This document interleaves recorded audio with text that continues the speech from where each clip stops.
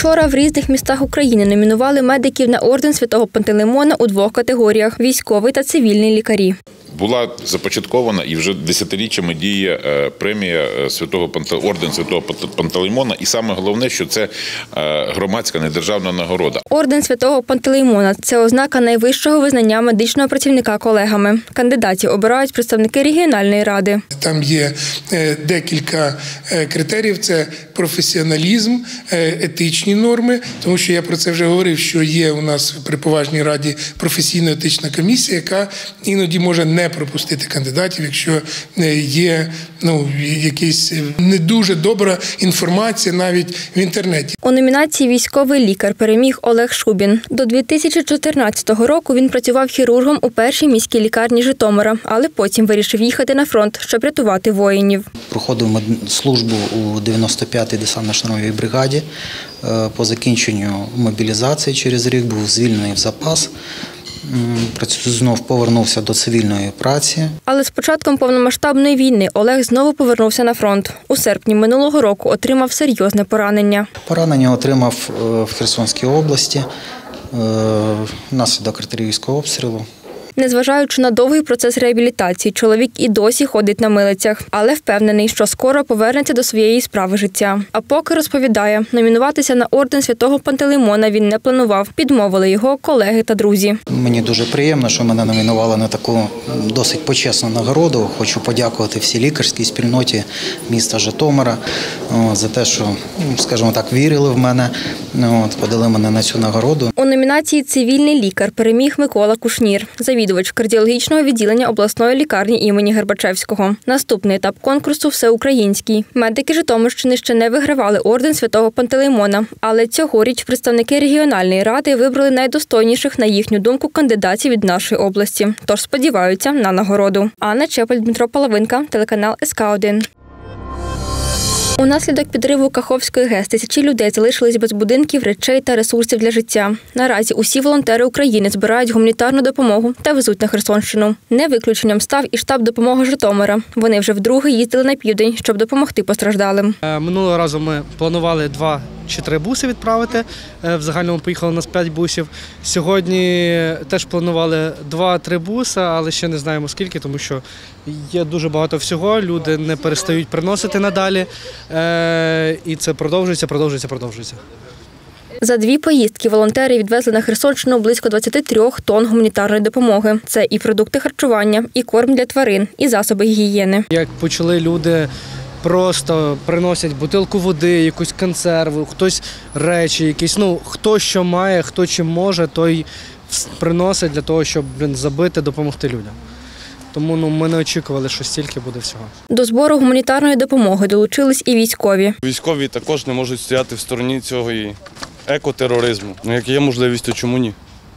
Завжди треба використовувати все по максимуму. В одному з бусів до Херсону поїхали 600 буханок хліба та солодкі булочки. Кошти на ці продукти віддали молодята зі своїх весіль. Я працюю ведучим. Е, Це я волонтер тут, а взагалі ведучим. І проводжу весілля. Е, Є традиція, де збирають кошти на хлопчика і дівчинку. І е, ви знаєте, що молодята зі мною погодились в тому плані, що майбутнє наших. Дітей українців залежить від збройних сил України і залежить від ситуації в Україні. Тому е, зібрані кошти на хлопчика і дівчинку, молодята, дві пари передали е, до нас до штабу. Молодята зібрали 12 тисяч гривень, а хлібзавод «Золотий коровай» знизив ціну на випічку у два з половиною рази, щоб завести на Херсонщину більше продукції. Інших 12 тисяч, які у нас залишаться від іншої пари, ми використаємо теж е, так, щоб люди Херсона запам'ятали це, і ми обов'язково щось придбаємо. Пізніше у наших соціальних мережах штаб допомоги Житомир. Ми все висвітлюємо, наші поїздки і що ми веземо. Окрім гуманітарної допомоги, волонтери завезли на Херсонщину обладнання для подолання наслідків підтоплення. До нас звернувся Житомиробленерго, що в них є сума 160 тисяч гривень, і вони готові потратити на закупівлю цього. Тут є плівка. Ця плівка йде для роз, е, дуже багато будинків в Херсоні роз- розрушені, і ця плівка йде для стіл. Вона йде зверху як покрівний матеріал. Це помпи для відкачки води. Це Це молотки. Також там є лопати, швабри, там є щітки для вже прибирання, тому що вода відійшла, херсонці починають відбудовуватись. Волонтери штабу допомога Житомира вже повернулись із Херсонщини та продовжують працювати, щоб найближчим часом поїхати туди з новим вантажем. Анна Чепль, Олександр Немержицький, телеканал СК 1 Проєкт USAID Говерла працює з березня 2021 року і охоплює сім областей та 65 громад. До них приєдналася і Житомирщина. Це пілотний проєкт USAID Говерла. Житомирська область обрана як пілотом. Ну і власне від того, як ми спрацюємо, буде залежати, яким чином ці результати е, будуть поширені далі. Основна мета проєкту сприяння місцевому економічному розвитку громад. Участь в нашій області беруть 10 громад з різних районів та залучати планують якомога більше. Цей проект буде розробляти практичні документи, пов'язані з програмуванням, тобто розробляти місцеві цільові програми, які будуть сприяти розвитку місцевої економіки, розвитку бізнесу, співпраці з внутрішньопереміщеними особами, з молодіжними організаціями та з іншими осередками, що формують місцеву економіку. Цей проект е, буде основою для подальшої роботи з стратегічними документами, стратегіями розвитку громад. Результати проєкту матимуть два практичних значення: територіальний аналіз та економічний профіль громади, який раніше в Житомирській області ще не робили. Працювати над цим будуть місцеві експерти. Дуже важливо, що в проєкті е, залучені експерти саме житомирські, тобто житомирські фахівці. Я ну, вважаю, що це дуже цінно, що ми маємо також на Житомирщині фахових спеціалістів, які працюють в галузі місцевого економічного розвитку. Зокрема, Микола Костриця, е, він є ключовим експертом проєкту, е, Сергій Трохимишин. Ну і також я залучена безпосередньо не тільки як керівник проєкту, але й як експертка. Сьогодні у Житомирі відбулась зустріч учасників проєкту, на якій присутні були і представники місцевого бізнесу. Керівник однієї з транспортних компаній говорить: в умовах війни бізнесу довелось трансформатуватися, а такі проєкти дають цінні знання та вміння, аби долати можливі виклики. Є проблеми, є проблеми комунікаційні, проблеми е, якихось питань взаємодії з владами, з владою, вибачте, але е, от якраз такі заходи сприяють тому, щоб ці проблеми вирішувати. І я вам скажу, що е, з початку війни взаємодія з владою. Помінялась ну на кореню різко, і е, це стало все простіше, скоріше. Питання стали вирішуватися, скажімо так, автоматично. Тому ці заходи сприяють таким речам. Попри повномасштабне вторгнення, Житомирщина залишається привабливою та надійною для інвесторів, і вони продовжують працювати на території області. Тож це доволі вдалий показник, вважають в керівних органах. Ми, власне кажучи, трансформували е, своє економічне життя в е, військовий період. Е, Особисто мені дуже приємно, що від Житомирської області не пішов жоден крупний інвестор, іноземний інвестор. Всі вони працюють тут, незважаючи на всі ті складності, які на сьогоднішній день є. Чи це буде Кромберг Шуберт, чи це буде Євроголд, чи це буде Церсаніт. Але вони всі працюють, всі забезпечують сплату податків. Проєкт розрахований на рік. Напрацьовані матеріали зможуть застосовувати не лише громади-учасники, а й усі інші. Катерина Волкова, Дмитро Половинка, телеканал СК 1 це наслідки ворожого обстрілу. В ніч на 9 червня під вогонь потрапив звягель. Уламки збитої ракети впали на житловий квартал. У результаті одна жінка загинула. Понад півсотні будинків пошкоджено, шість зруйновані ущент. У нас було два прильоти і є руйнування, і є також один загиблий. Тому потрібно все-таки дотримуватися повітряної тривоги і е, перебувати в укриттях. Чи готові укриття звягеля до перебування людей взялися перевіряти представники партії Слуга народу. Першим об'єктом ревізії стало сховище одного з адміністративних приміщень. Знаходиться воно у центрі міста. Тут перечекати ракетну небезпеку може кожен перехожий.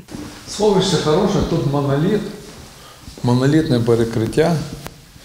Воно вже давненько відкрито. Тут може розміститися більше 200 чоловік.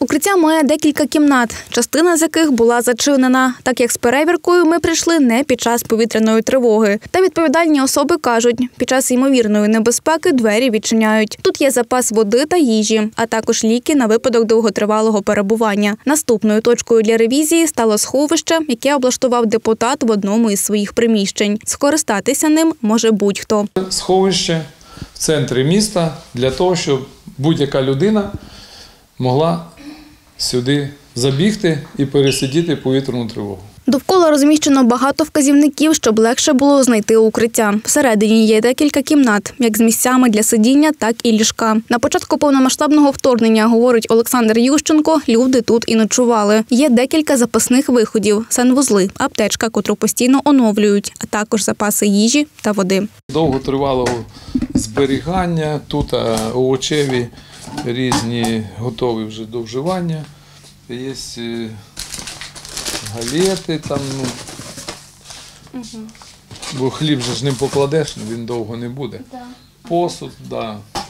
мівіни, по типу мівіни. Завітали ми з перевіркою і до одного з навчальних закладів. Тут довготривалий час не було укриття взагалі. Тож власними силами керівництво таки домоглося будівництва модульного сховища. Ми переконали міську раду, переконали міського голову виділити кошти на е, будівництво такого укриття. Е, Кошти були виділені 22 жовтня. Роботи почалися в середині листопада, а 30 січня ми вже війшли. Укриття було здане в експлуатацію і прийнято як найпростіше укриття. Облаштували його на території колишнього тиру. Укриття має три виходи та вмонтовану вентиляцію. Кожен клас має окремий блок. Тут також запаслися й речами першої необхідності. Неподалік центру міста вирішили перевірити і готовність приймати людей в одній із багатоповерхівок. Тут укриттям слугує спортивна зала. Тут мається два виходи, один і другий. Е, Тут має вентиляція мається, дуже потужна.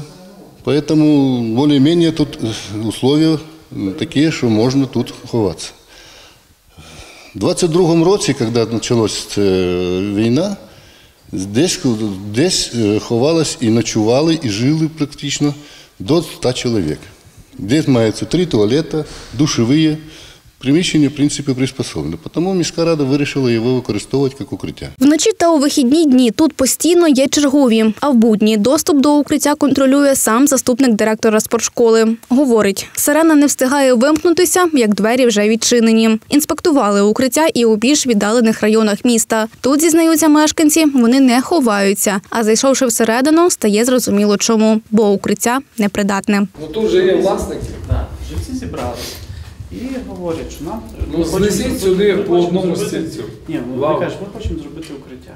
От, Так. Вирішують на цих загальних зборах, що вони хочуть укриття.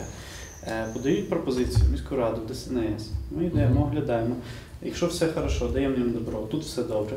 І вони вже власними силами мають тут. Ну, Ну, за свій кошт. Самі собі. Так. Водночас самі мешканці про облаштування укриття не зверталися, тому воно так і лишається суто підвальним приміщенням. Хоча подекуди видно, що час від часу люди небезпеку тут таки перечікують. Тож після перевірки депутат підсумовує. Ми сьогодні відвідали в місті Звягель е, в центральній частині місця і на околиці сховища, укриття на випадок повітряної тривоги.